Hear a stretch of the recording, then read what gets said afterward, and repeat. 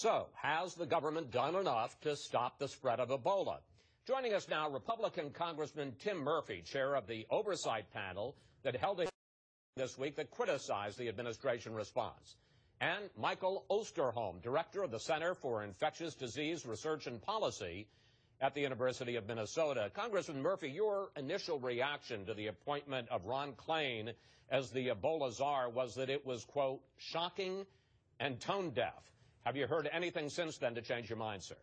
No, I mean, the American people are looking for someone with some knowledge and expertise. He has none in these fields. Uh, and I, uh, throughout this whole thing, given the number of missteps and promises and reassurances the CDC has given, everything from we have uh, plenty of hospitals, the gowning was fine the way it was initially, uh, fever, uh, can I identify someone, you only use 100.4. So many of those reassurances have not been accurate. What people want is uh, as much facts as possible. Don't overpromise. Don't be certain when you're not certain. But the key is to protect and defend the people of the United States.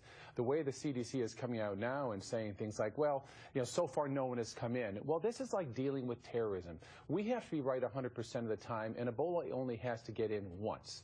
And that's what's happened so far. So I, I don't think that these uh, false assurances are working. Know, my background is not medicine, it's psychology. And I know what creates panic. And what creates panic is when people are given information that proves to be false. So we need to stop these over certainties from these medical folks. And uh, I'm not sure that a czar that has no background can help that. Right. I, I, want to pick up on that with you, Mr. Osterholm. You heard my discussion with Dr. Fauci about all the misstatements from the government. You say one of the biggest problems is that we have been too confident, too certain in what we have been telling, what the government has been telling the American people.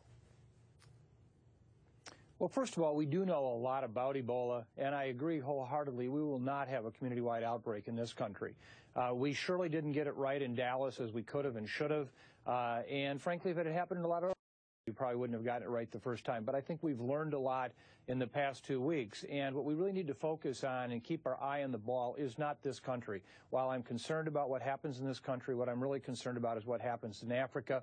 Because as long as that infectious disease forest fire is burning, those embers are going to keep coming around the world, regardless whether they close borders or not. I, I, I want to talk about, though, the threat from those countries, the hot zone, to this country because one of the big issues, of course, is this idea of the travel ban. And I want to talk to Congressman Murphy about it. Uh, the idea of a travel ban from those three countries to uh, the United States. Uh, Congressman Murphy, this is what President Obama said this week. Trying to seal off an entire region of the world, if that were even possible, could actually make the situation worse. Congressman Murphy, why is the president wrong?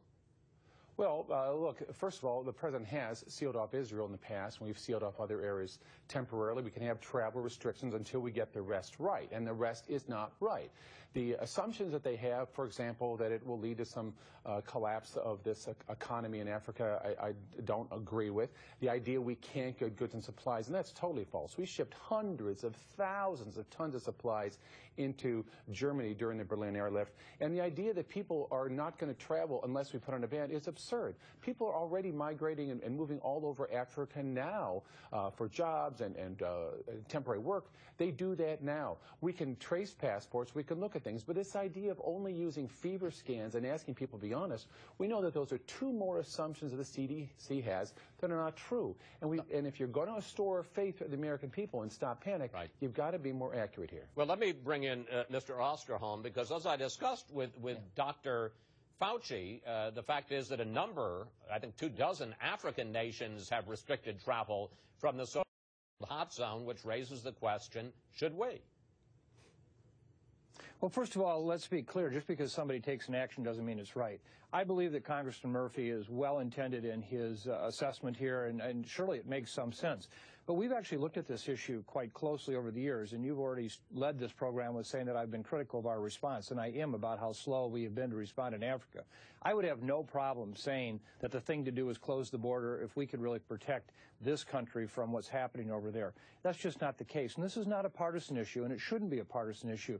Just this past week, uh, former Secretary uh, Mike Leavitt of HHS under the Bush administration, somebody I very much respect and admire, himself came out and said from his own experience, having been at HHS and reviewing But Mr. all the Osterholm, why? information Why, available, why is, happened why is a travel ban a bad idea?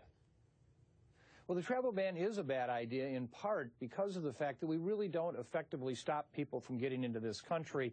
And for what? I mean, and what I'm talking about here is we've had one single case so far in the big picture of what the situation is. Maybe we stop another one and two more. But we do know that travel bans will seriously impact our ability to get people in and out of, of that area. And Congressman, with all due respect, I agree with you on the Berlin airlift. But that was all military. If you're prepared today to give us hundreds of military planes that will fly in and out at will when we need them to move uh, not only material but also people, uh, when we move them around, then I'll say, well, maybe we ought to reconsider this. But I don't see anybody in Congress right. telling us today that we're going to get hundreds of military planes. Congressman Murphy? Well, I, I've already asked uh, Dr. Frieden and uh, sent a letter to President Obama saying, tell us whatever Congress needs to authorize. We're sending thousands of troops over there uh, through, through ships, uh, through, uh, through also planes. We could do a lot here. I mean, the, the ability of the U.S. military to move goods and supplies is pretty massive. We all want to stop Ebola in Africa, but we also don't want it to come here. And even if people talk about, well, one you know, it means a lot to the family of someone who dies in the United States, and it means a lot to the safety and security of Americans. And so let's focus on concentrating our efforts to stop it in Africa, but let's also make sure that we're protecting America's borders from it coming in here, too. All right, finally,